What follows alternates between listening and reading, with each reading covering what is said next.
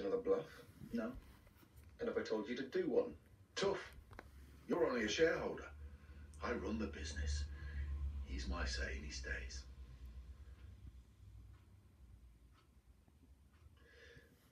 I'm in your chair then.